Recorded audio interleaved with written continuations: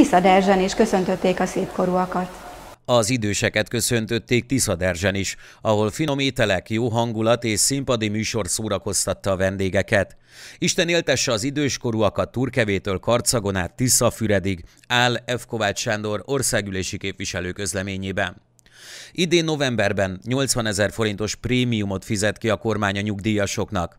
Lett volna 435 ezer olyan ember, akik egyéb okokból kevesebbet kaptak volna, de idén számukra is képesek vagyunk kifizetni ezt. Lesznek olyanok, akik az infláció korrekciójával együtt 100 ezer forintos kiegészítést is kaphatnak, mondta Orbán Viktor miniszterelnök a Kossuth Rádió Jó reggelt Magyarország című műsorában.